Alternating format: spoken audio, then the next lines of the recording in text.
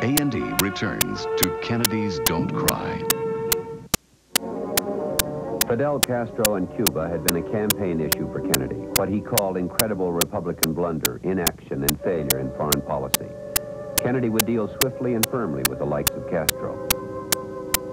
Within months, Kennedy's campaign rhetoric was put to the test.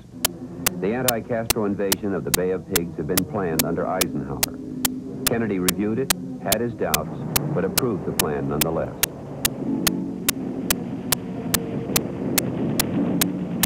The American-backed Cubans didn't have a chance. They were flattened on the beach, forced into ignoble surrender. It was a monumental fiasco from start to finish. It made Kennedy seem rash, naive, imprudent, and uninformed, and in his area of self-proclaimed expertise in foreign policy. I not only could not stifle controversy among your readers, I welcome it. This administration intends to be candid about its errors. For as a wise man once said, an error doesn't become a mistake until you refuse to correct it.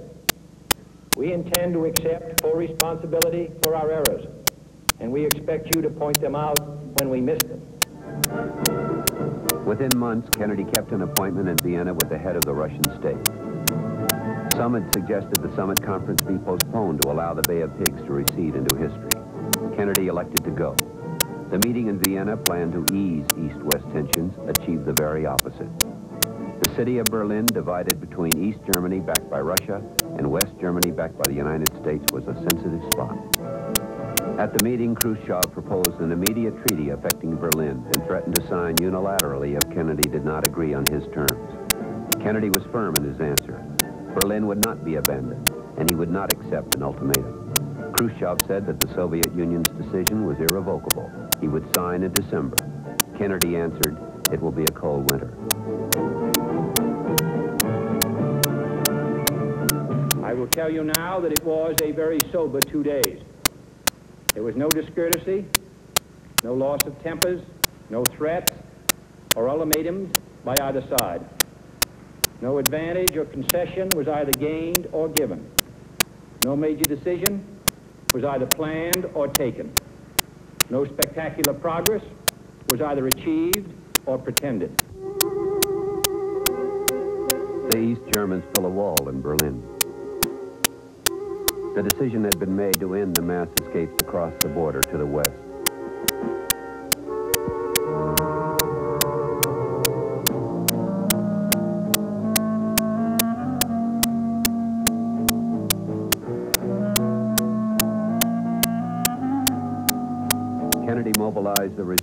And brought troops down the Autobahn from West Germany into Berlin.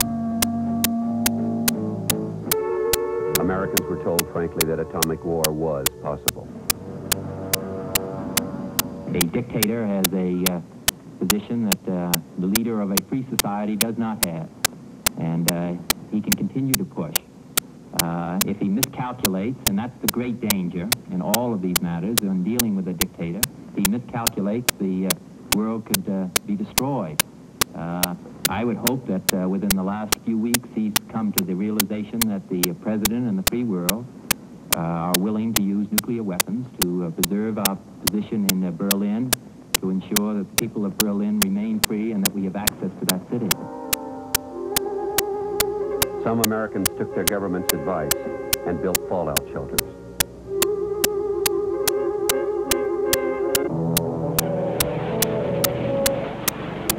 After months of negotiation and jockeying by both leaders, Khrushchev announced that since the Western powers were showing understanding in trying to solve the German problem, he would not insist on a treaty signature before December.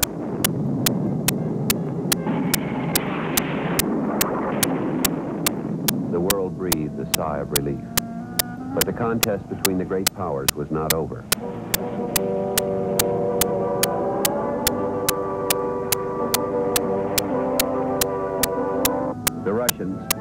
To extend their influence and increase their nuclear capabilities, took a drastic step. There was still fear in Cuba of an American invasion. Russia was Cuba's ally.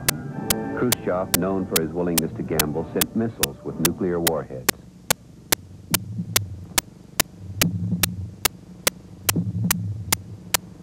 Rumor of their existence in Cuba had been circulating in Washington for weeks. Conclusive proof reached Kennedy during the congressional election campaign.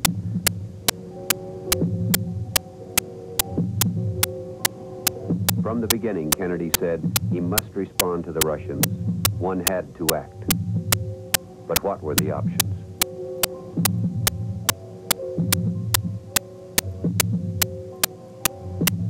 He convened a special group of high-level military and civilians called the ExComm. Gathered at the White House, they asked themselves what really had changed. In an atomic war, a missile launched from Moscow is as deadly as one launched from Havana. Maybe nothing had changed, and therefore nothing should be done. Military advisors said bomb out the Cuban missiles. Congressional leaders were talking military action. McNamara proposed a blockade of Cuba to prevent delivery of any more Russian arms, a gesture intended to give the U.S. time to make its position clear and to give Khrushchev time to reconsider what he was doing. Bobby Kennedy supported the blockade strategy. He opposed an airstrike, saying Sunday morning sneak attacks were not part of the American tradition. He led the way towards more moderate action. The blockade was ordered, and Khrushchev told that the missiles in Cuba must be removed. The hours crept by, the world poised on the edge of atomic holocaust. Then two letters came from Khrushchev, each offering to remove the missiles if the United States met certain conditions. The offer of Khrushchev's first letter was accepted. The United States would formally and publicly agree not to invade Cuba. But as for the demand in Khrushchev's second letter, for the removal of U.S. missiles in Turkey, Bobby explained that President Kennedy had been anxious to remove these missiles for a long period, but there would be no public commitment to remove them. Khrushchev accepted. The Russian ships turned around in mid-Atlantic. The missiles were withdrawn, the bases dismantled. The United States, led by its president, had been firm, forbearing, and prudent.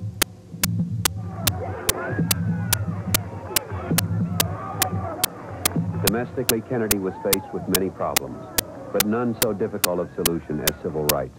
It had been 100 years since black people had been emancipated, but they were not full-fledged citizens. Kennedy moved on many fronts.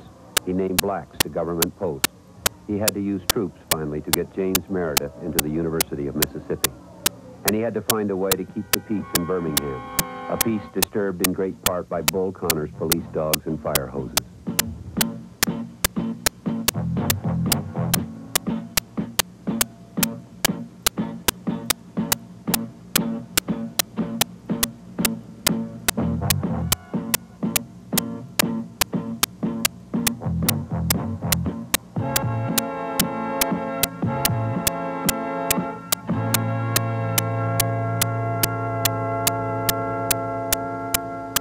I have instructed Secretary of Defense McNamara to alert units of the armed forces trained in riot control and to dispatch selected units to military bases in the vicinity of Birmingham.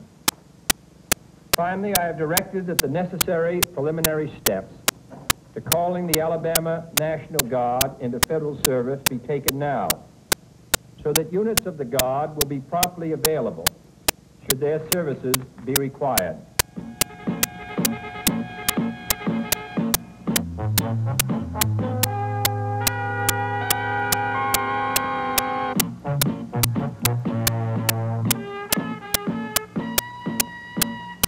And as violence raged, men like James Baldwin could not contain their anger. Six kids were murdered in Birmingham on a Sunday and in Sunday school in nation, and nobody cares.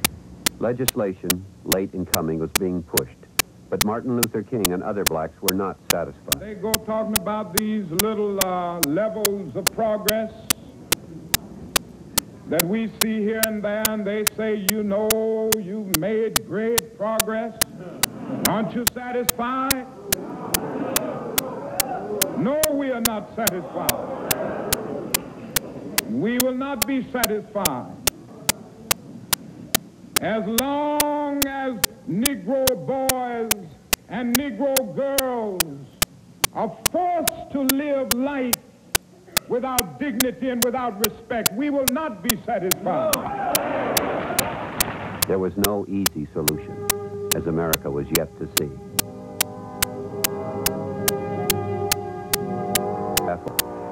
Anxious to strengthen America's image abroad, Kennedy went to Berlin. He was pushing for accommodation with Khrushchev and an end to atomic testing.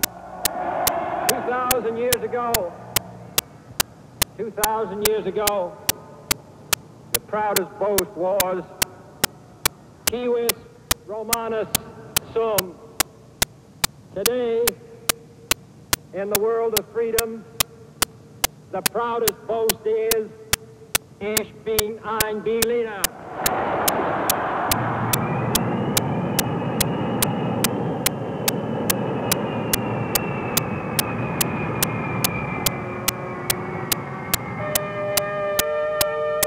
It was time to get moving on the 1964 campaign. Toward the end of November, he went to Texas. On November 22, 1963, he spoke in Fort Worth. And as a result of the effort which this country has made in the last three years, we are second to none.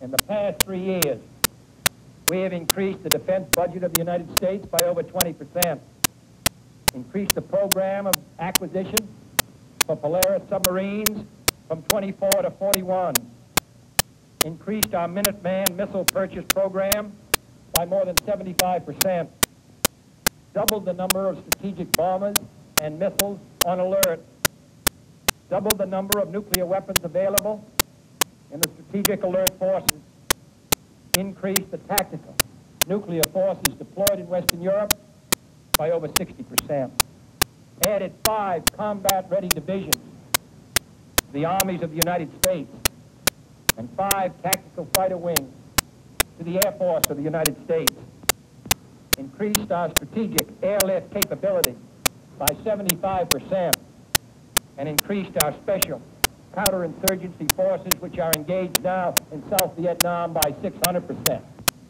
I hope those who want a strong America and place it on some signs will also place those figures next to it. Within hours, he was in a motorcade in Dallas. The crowds were mostly friendly.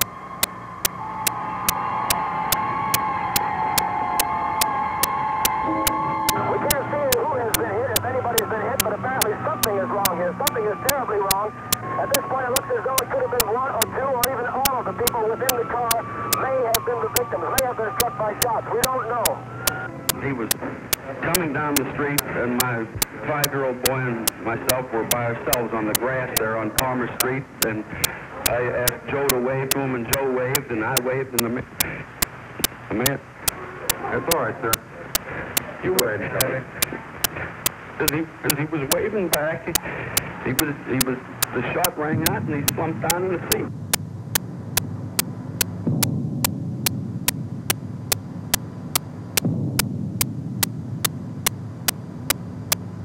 It fell to Ted Kennedy to break the tragic news to his father. A nurse who saw Joe Kennedy after his son left him found him with tears in his eyes, tightly gripping the covers of his bed. Jack Kennedy had been president 1,065 days. Eventful, critical, dramatic days. The survival of the world at stake, and he at the center of it all. Young, handsome, regal, full of life, vigor, brilliance, and wit. And now he was gone. So much promised, so much unfulfilled.